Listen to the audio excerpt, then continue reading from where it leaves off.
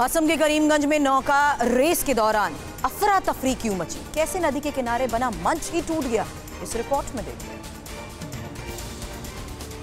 ये तस्वीरें असम के करीमगंज की हैं, जहाँ नौका रेस के कार्यक्रम चल रहा है। नौका दौड़ देखने के लिए नदी के तट पर सैकड़ों लोग जमा हुए थे लेकिन इसी दौरान नदी के तट पर बनाया गया मंच टूट गया।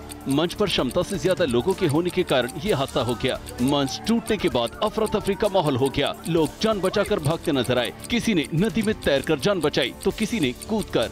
जब तक लोग समझ पाते, तब तक मंच पानी में समा चुका था। गनीमत रही कि इस हादसे में किसी की मौत नहीं हुई है। वहाँ मौजूद लोगों ने मदद की, जिसके बाद सभी लोग सकुशल निकल सके।